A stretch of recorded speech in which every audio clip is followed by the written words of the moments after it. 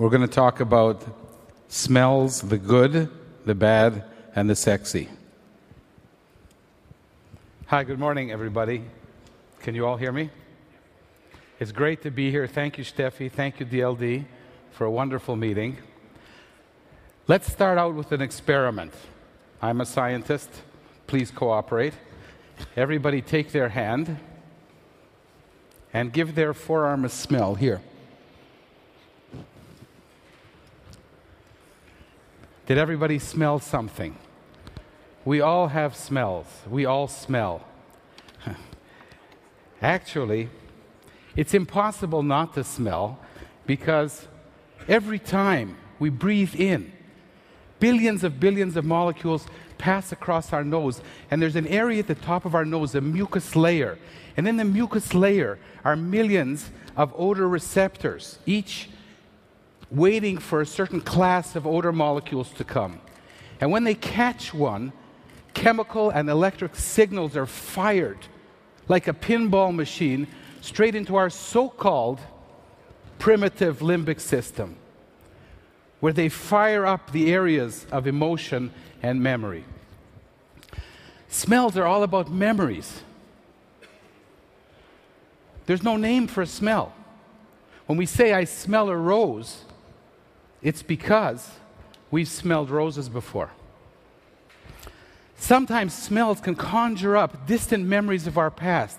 Last night in Munich, the smell of the cold, the snow, reminded me of my youth in Ottawa 50 years ago and almost brought tears to my eyes. We all have these exper- experiences. And of course, smells are all about emotion. They can make us hate, love, long for someone or something. In German, when you want to say that you can't stand somebody, you say, Ich kann ihn nicht riechen. I cannot smell that individual. Well, we smell from the day we're born throughout our lives. It's amazing.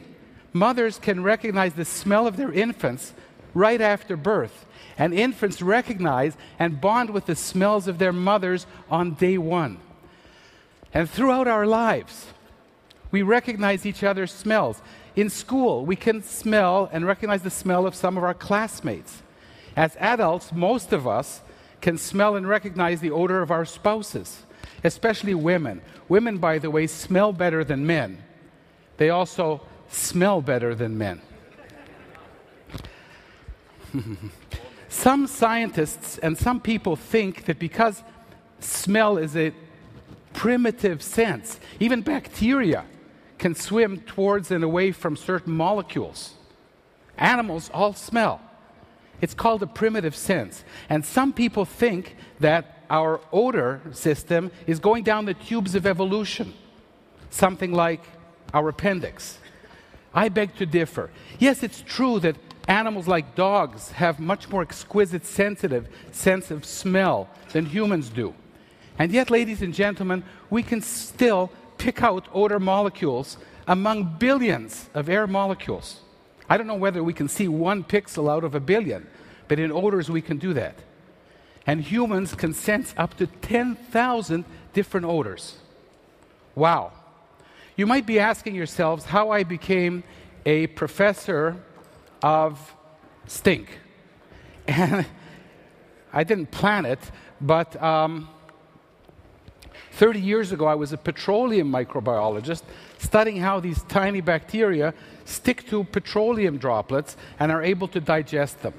In the mid 1980s, we invented a two phase mouthwash with oil and water. We found a way to coax bacteria from the mouth onto the surface of oil droplets, and we invented a two phase mouthwash that became a big hit in the UK and other countries. Well, you know, mouthwashes Mundgeruch, bad breath. So before you know it, I was smelling people. I figured that up till now, in addition to a lot of research, I must have smelled between 10 and 20,000 mouths in one career. And then, ladies and gentlemen, I invented a deodorant. So I smelled hundreds and hundreds of armpits. And then a shoe spray. So I'm also quite an expert on smelling feet and shoes. Once a a fellow brought his wife into the clinic and he said she has a terrible odor coming from somewhere in her body. I don't know where, but if, I, if you can't find where the odor is coming from, I'm going to divorce her. So we had no choice but to smell the bits and pieces of her human anatomy. And indeed, you might not be surprised to learn that the smell was indeed coming from in between her toes. Let's. Having a bad smell is one of the worst things that a human being can have. Gentlemen in the audience, statistically, one quarter of us suffer from bad breath on a daily basis, and we don't even know it. There was a study in England 72% of the women said they would not date a guy with bad breath. And body odor is even worse. Among all the disgusting characteristics a human being can have, women in England ranked, that's a good word, they ranked body odor as number one turnoff, way ahead of bad breath, dirty fingernails, bad skin, and ugly clothing. Enough about bad smells. Let's go to good smells for a moment. Am I stuck? Ah, what smells better than a baby? I think that actually the wonderful smell of a baby is an evolutionary mechanism to provide to protect babies against harm by adults. And of course, those of us who raise children know that nothing smells as wonderful as a little child. They're our angels. We smell them, they smell us. It's wonderful. But one day, when our child is 10 or 12 or 14 years old, they come home from school stinking like a wet skunk or a sock. Ladies and gentlemen, welcome to puberty. Well, what's happening during puberty? Our armpits develop these odors that we call body odors. You see that armpit? Those little hairs are each attached to a, an apocrine gland, which is a gland that develops during puberty in our armpits and farther down south in our body. And each of these glands secretes a fatty substance, a sebaceous substance that doesn't smell. But there are billions of bacteria in the armpit because we also secrete aqueous secretion from our eccrine gland.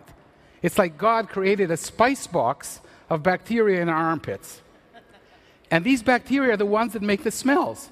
No bacteria, no smells that we can notice in our armpit. Now, I'm going to spend the next couple of minutes trying to convince you that the armpit is actually, surprisingly enough, an extension of our sexual organs. Oy vey. Why do I say that?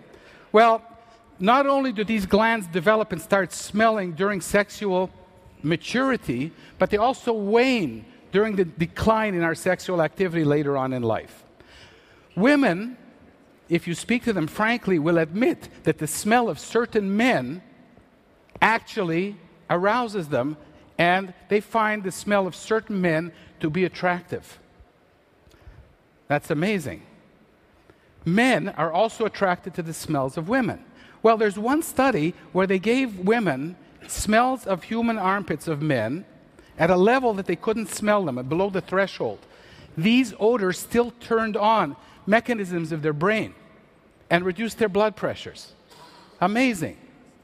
Men are also drawn to the odors, the natural odors of women. There's the famous story of Napoleon writing to Josephine, Ne te lave pas, j'arrive. Honey, don't wash yourself, I'm on the way. And for centuries, women who wanted to attract the beau, I don't know if this will still work today, but you can try it, used to put a handkerchief or a piece of apple in their armpits, a kind of pomme d'amour, if you will, and uh, wave it or give it to their prospective beaux. Women also communicate via their armpits and they control each other's menstrual cycle by signals from their armpits. Wow, this is pretty amazing. But if you consider how animals behave, it's not so surprising at all, is it? Animals smell each other all the time. They do so from further south in their body. And what they're looking for is not only to smell periods of heat or ovulation, they're all, they're all looking for a genetic match because our smells reflect our genetic being. You know, we all have our profiles on Facebook. We don't have our smell profile, but each of us has a smell of our own, our own individual smell that is a reflection of our genetic makeup. And there's even one study that humans behave like animals in this respect, because animals look to mate with potential mates with a complementary smell that reflects genes that are good to mate with. There's one study that women prefer the smell of men, I should say again, their armpits, based on genetic complementarity. Well, why is it in our armpits then? Well, the theory goes that when we were walking on fours, we smelled each other farther down south in our body, but Homo erectus, if you will, the nose is a meter and a half up in the air, and to get a good smell, you have to move the odor up north. Have a look here at Al Pacino in the proximity of the human nose to the human armpit. Well, if I've convinced you that the smells from the armpit do have a sexual meaning, here comes the $64 billion question. Why are we so offended by them? Why are human smells, body odors, considered today the biggest turnoff? Well, the hint, of course, is today. Um, I'm going to give you three reasons why I think that our appreciation of odors has changed over history. First of all, Desmond Morris has said that fresh sweat is actually sexually appealing but that the molecules oxidize within minutes, and if it's not fresh, it's not pleasant. Japanese think that our odors have gone down the tubes because of fast food and junk food that have a detrimental effect on how we live, our health, and how we smell. But I'm going to give you a third explanation. Smells, ladies and gentlemen, are all about context. If I gave you a banana and we're primates that smell like a banana, you might like to eat it, right? If I gave you a steak, we're, we're omnivores, some of us eat steaks. If it smelled like a steak, you might be tempted to eat a steak. But if I brought you to a restaurant where the main course was a banana that smelled like a steak and a steak that smelled like a banana, I'm not sure you'd frequent that restaurant again. Same thing with smells. In primitive times, we lived in tribal societies before the Egyptians. Everybody knew who the alpha male was. Everybody had their own smells. There was a sexual hierarchy. We all walked around naked on a hot day. We had our smells out there. No deodorants, no showers. Everybody smelled funky. And looking around at the people in the audience, it's clear that our ancestors still made whoopee. Fast forward now to civilization. For the past 10 or 20,000 years, we are trying to modify and hide our smellness. We do this by perfumes since the time of the ancient Egyptians. But, ladies and gentlemen, perfumes are made from roses and other flowers that are actually part of the sexual organs of plants. I challenge you to answer the question why are we drawn to the odors of plants and flowers? Do we have something in common with insects that pollinate flowers? I think so. And if you don't agree with me, how about musk? We rub a little bit of musk all over our bodies. That's where the expression hello deer comes from. The musk is the sexy, funky odor of a little deer. What does that have to do with us? Well, I think that over the course of modern history, because of civilization, our smells have gone out of context. And we've lost our true selves. And what happens now is you smell like Procter & Gamble, you bump into Unilever, do you Procter & Gamble take you Unilever to be your happily wedded smellmate, but that's not your true smellmate. So I challenge all of you for the next DLD, here's an app that's waiting to happen. Smells. This is the real way to find your mate. It's called the Smell Me, Smell You application. And what you do is you put it in your armpit, incubate it, and it gives you a readout of all the women in your proximity who are your genetic smell mates. un, un, until, that, until that time, do not use antiperspirants with al- aluminum salts that close down your pores and don't let you smell like yourself. Use just regular deodorants and seek out your smell mate.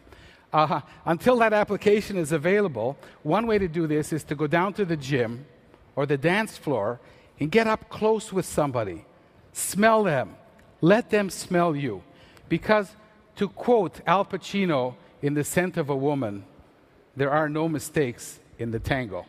Thank you very much.